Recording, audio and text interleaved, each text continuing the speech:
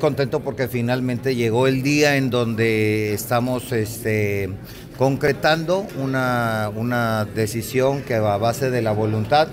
del Club Rotario Nuevo Santander, este, el gobierno municipal, la participación de muchísima gente. Hoy se da esta donación de un tomógrafo con un valor eh,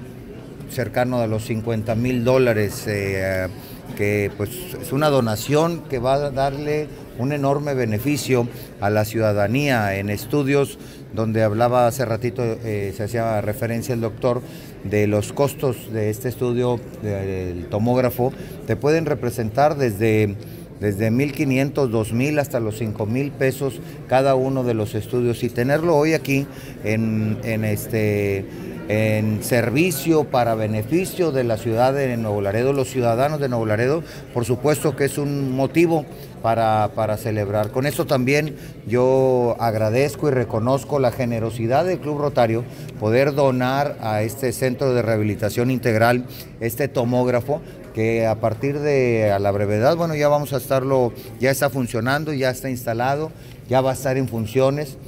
y ya va a estar dándole eh, beneficio a, los ciudadanos.